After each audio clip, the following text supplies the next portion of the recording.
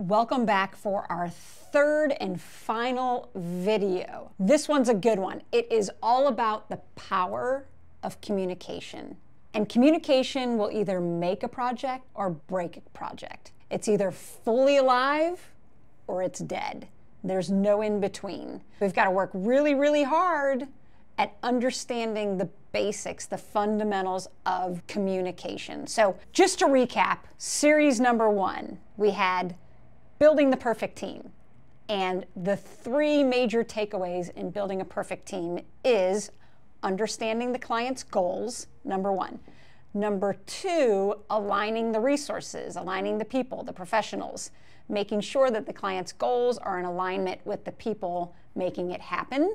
And then the third thing is creating agreements for the entire team so that that team can move forward together, right? So we're in alignment and now we're moving together because we agree on things. We've discussed that. Second series is mastering the budget, the B word, the budget word. So, first things, we need to get clear on exactly what we're looking at, the information, okay, the scope of work, the plans, the specs. We need to get really clear on what we have in front of us. Second thing is we're going to organize the information and we're going to analyze the information. We're not just going to organize it, we're going to organize and analyze the information. And then the third thing is we create an audit of all this information. And we know what we know, but more importantly, we communicate about what we don't know. And that's also in the budget. We have information, we've analyzed it, we know information, but what are we missing? Let's make sure we dig into that part of the budget so that we can set the budget up with a solid foundation in the beginning and then as we work through during construction, we're putting together a budget that had missing details or that still needs to be determined. And that's a really important thing to work through. So that was series number one, series number two. Now we're on three the power of communication. And it's a massive, massive lifeline for a project. So we all know when we miscommunicate, right? When someone leaves a voicemail and we don't return the, the voicemail, or we hear trades talking back and forth and an awareness like, huh, that doesn't sound like what we've talked about. I need to listen in on this and make sure that we're all marching together.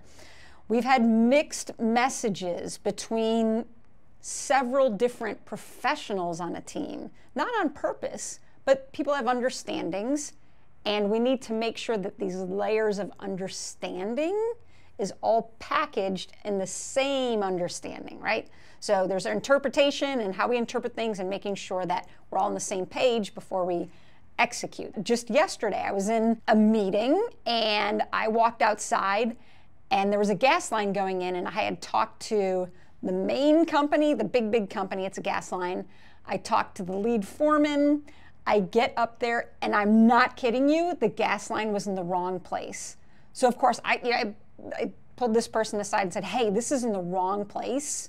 I'm not sure what layers you worked through, but I can tell you I am the stopping point, and this gas line needs to be over here.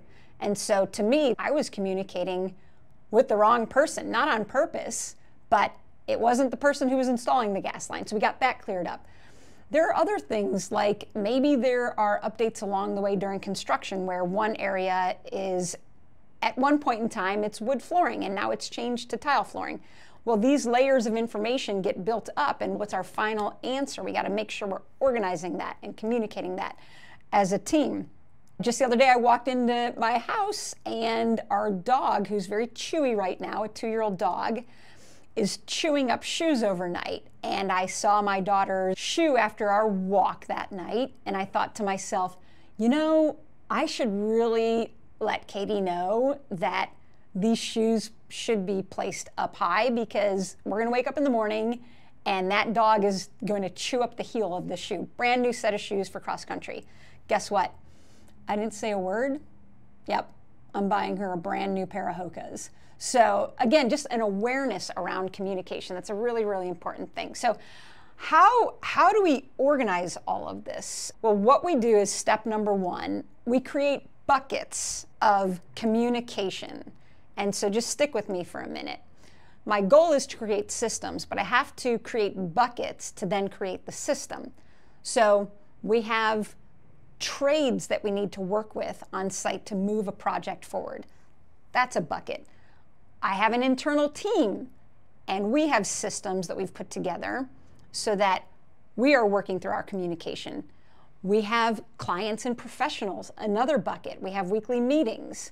We need to organize and communicate that information really, really well. Some of it's visual, some of it's auditory.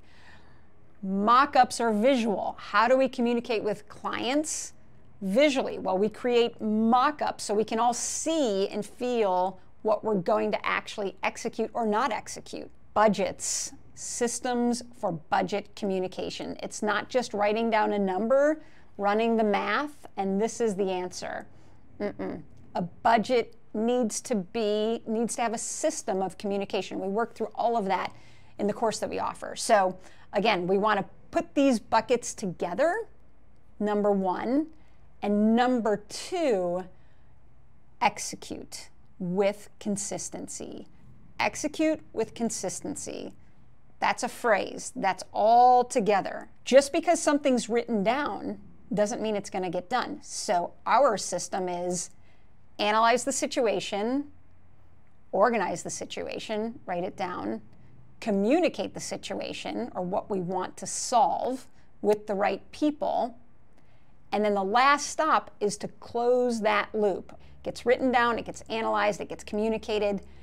Now we need to make it happen, and we're going to close that loop. So that's a system that we have for executing in a project. Long story short, create your buckets. Number one, to create your systems for those buckets and close those loops. Again, the power of communication will either make a project or break a project. Remember that it is that serious and it is the heartbeat of all projects. Again, it's the heartbeat. It is what keeps this home alive and happy and strong. Wrapping all of that up, series number one, we talked about aligning or creating the perfect team.